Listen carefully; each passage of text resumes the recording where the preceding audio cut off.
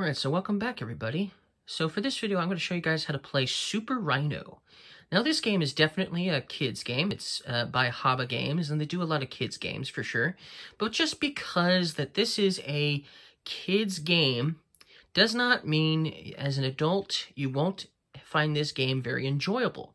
Because in this game, the object of the game is basically to build a tower a big, huge tower in the city, as high as you possibly can. And so it's a very dexterous game. And so because of that, I think just about anybody will enjoy playing this game because whether you're a kid or an adult, you'll all have a hard time, obviously, building this tower without it falling over, obviously. So let me show you guys how to play this game.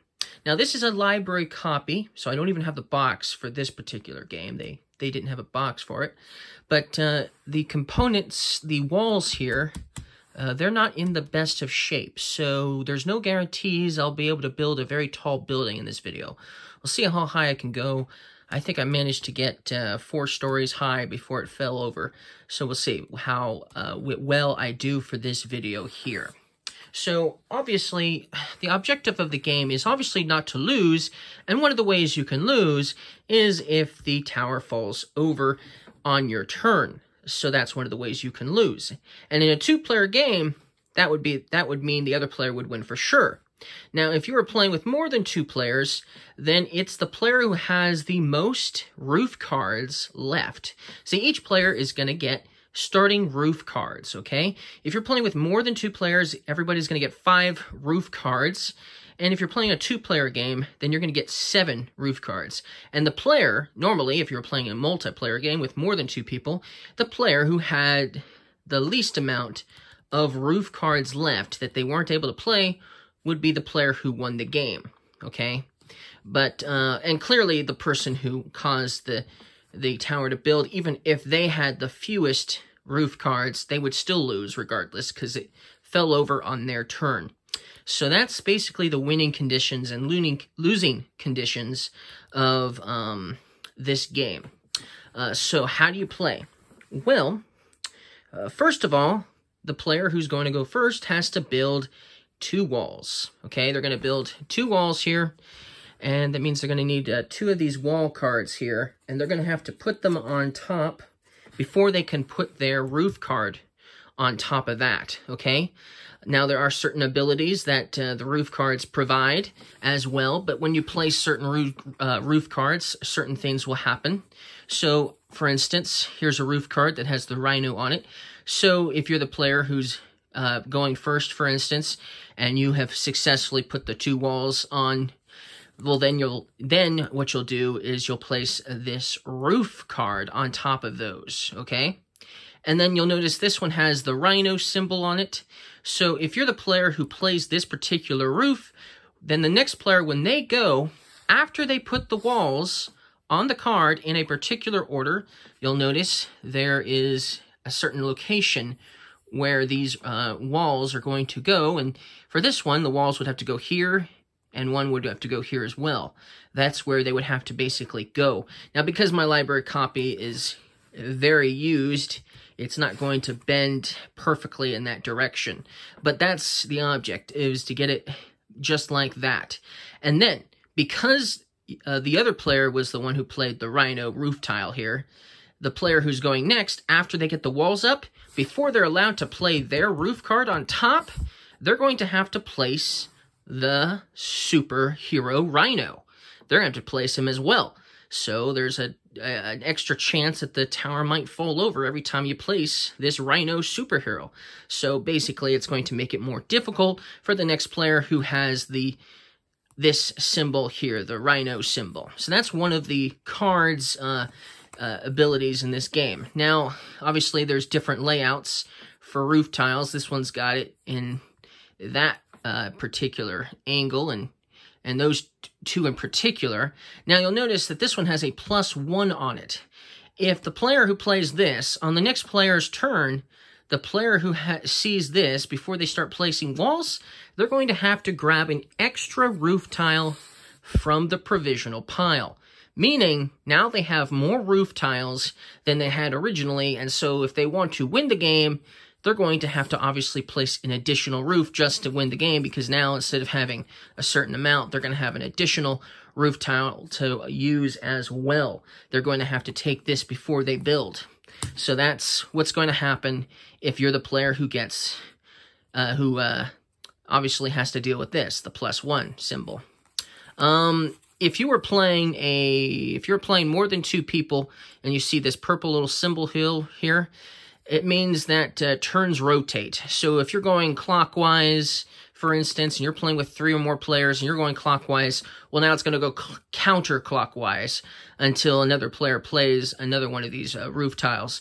So it means that, uh, so if you're the one who played this tile, the next person go, the next person that would go is actually the person uh, that's, you know, to the left of you if you were going this direction. So if you were playing uh, one particular direction, it might be the other player who's going next. So they might be going again sooner than they thought they would with this particular, uh, obviously, this particular roof tile out. And it will change again and again for every time this particular symbol here shows up with the purple uh, circular round thing. Okay, but in a two-player game, just ignore it because, well, there's no counter counterclockwise, counter and and and clockwise. Technically, when you have two players, it's still going to be the same players. Uh, then you'll notice this exclamation point.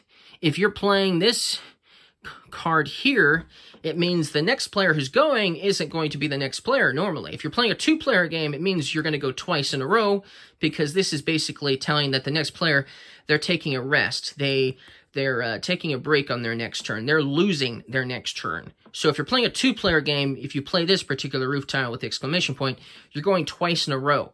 Now, that might be a good thing. It might be beginning of the game, and and so uh, you might have the advantage. You might be able to get more roof tiles played, and that might be something you want for sure to happen. And if you're playing with more than two players, then obviously only one person gets skipped, and then the next person would go. So that, that's how that one would work. Then there's uh, uh, this one here with the red and the 2 and the X. When you place this roof tile here, it's actually going to let you place another roof tile right on top of it, meaning you're going to place them on top like this with two basically connected to each other. So a double roof basically uh, might even be necessarily be even be, be even stronger because it's more durable because it's got two now possibly. But you're going to get to place two and then obviously then whatever card was next would still affect the next player. So if it was the Rhino, that means they would still place the Rhino. Uh, the next player would still place the Rhino. But that's cool that you can do a double roof. Now you can only you can never do more than a double roof. So you can't like get two of these in a row and place two and then another one. That would not be allowed. So you can't do it that way. Um, and if it ever comes down to the point where you don't have another card roof, another roof tile you can play uh, that isn't this, and you play this, then that means you have to basically ask one of your opponents if you can have one of their roof tiles. In a sense, you'll be helping them out if that's the case. So be careful when you play that. It could happen. It's possibility, especially if you're playing with uh, more than two people. That could put possibly happen. But that's basically all of the abilities of what possibly could happen when you place a roof tile. There's obviously different things that could happen. That's basically how you play the game. Now let's see how well I do this game here. Three, four, five, six, seven, seven. So let me just mix these up a little bit. And uh, let's play the game just uh, briefly and see how high I can build this tower as a demonstration of how it's all going to work. So, um, this is me, this is my opponent, and so I'll go first, and we'll see what happens. Ooh, and it's a plus two, so that's awesome. So first of all, let's go ahead and place my uh, my two uh, wall pieces here, and uh, we'll see if we can um, try to get these as uh, straightened as possible. Moment of silence for this game because it's going to take all of my concentration to do all this.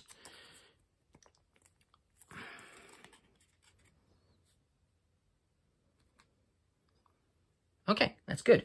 So now I can place two roofs at the same time. So this one will go on top of this one. And since I'm playing a two-player game, this doesn't mean anything. So then I'll place these two roofs on top of each other, just like that. And there's our first floor done. And so that's the end of my turn. And so now the next player, player will go. And they've got a plus one. So that means that um, me, as in player one, I'm going to have to draw an extra pot, another another roof card from the provisional pile. But anyways, let's let them uh, build their next section of the um, floor.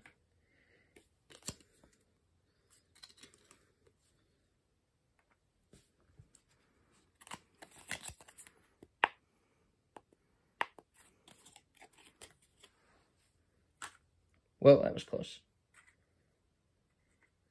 Kind of like that. Okay. And then they would place their roof tile. So it would go on top like that. Well, that's a little off. We fix that. There we go. A little bit better. Now, before I can go, I need to draw one of these first. So now I have even more roof tiles to complete. Oh, and this one's got the rhino on it, so that means the next player is going to have to place the rhino down. Assuming it doesn't fall on my turn. Okay, I only have one uh, this time. One wall piece I can place, which is not good because it's one of the hardest ones to do. Um,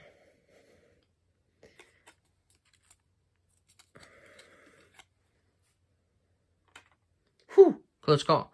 Okay, so now that you guys can't see it very well, let's go up a little bit. There we go. And place my roof down. Okay, that's the end of my turn, and it didn't fall over. Awesome. We've got one, two, three stories already. Not bad for a library game that's been played probably a hundred times, if not more. So, now it's uh, obviously the next player's turn, player two, and they got the rhino as well. Awesome. But before they can place their roof tile, they're going to have to do the two walls, and they also have to place the rhino too, before they can do their roof. So, let's see how we do this. This is not going to be easy, since they don't bend the way they're supposed to. Okay, and then I got to do the other one just like that as well. Let's go up a little bit though.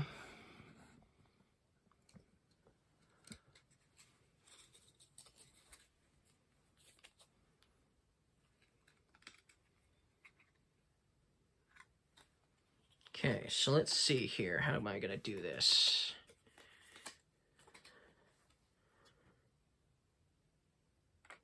Okay, they succeeded at that, but before they, um, before their turn is over, they have to place the Rhino Hero. He has to go basically here on this side. So you're not going to see him in the camera, but let's see if I can place him. And it fell over. And that was on player two's turn, so player two lost. And I win because I am player one. Ha ha. But if I had managed that, if player two had managed that, I would have been in the same uh, pickle because I would have had to place the Rhino Hero right after that. So I probably would have definitely lost if it hadn't been for him first. So that's basically how you play um, Super Rhino. That is how you play it. So if you guys liked this video, uh, don't forget to leave a like, and uh, I'll see you again. I'll see you guys again next time. Don't forget, favorite superhero, the Rhino. All right. See you guys again next time.